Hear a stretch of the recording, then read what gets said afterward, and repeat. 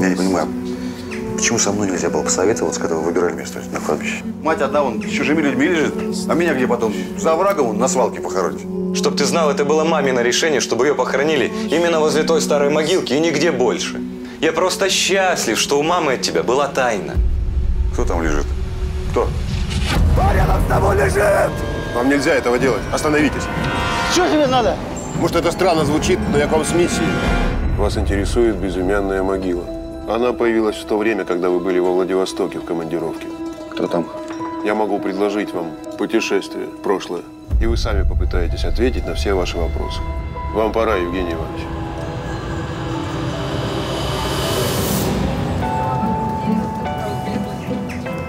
Ну, кто быстрее, кто быстрее? Леночка? Мила.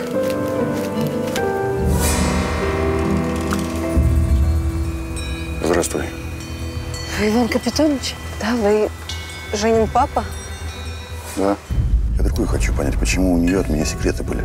Кто он, этот человек, который ей так дорог был? Ну что, и ты кого-нибудь к себе приведешь, да? Есть кто-нибудь на примете? Скажи мне, а? О ком вы вообще говорите? Вот здесь ее похоронят, рядом с другой могилой. Без таблички, без креста. Женя, ты не вздумай ей ничего говорить. Ты понял? Да понял, я понял.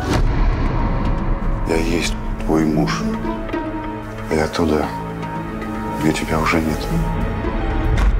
Так когда тебя не, не стало, я ведь все понял. Же мне тебя не хватает. Я думал, ты будешь всегда. Я хочу спасти тебя. Потому что он тебя недостоин. А я сделаю тебя счастливым. Есть такой закон, закон преграждения. Он не позволяет мне встретиться с самим собой. Если я сейчас останусь с тобой, то никогда сюда не вернется. Никогда.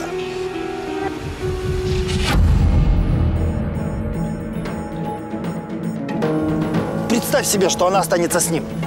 Она же не будет счастливой. Она же знает, когда она умрет. И знает от чего. Как с этим жить? Как с этим жить? Ты подумал об этом?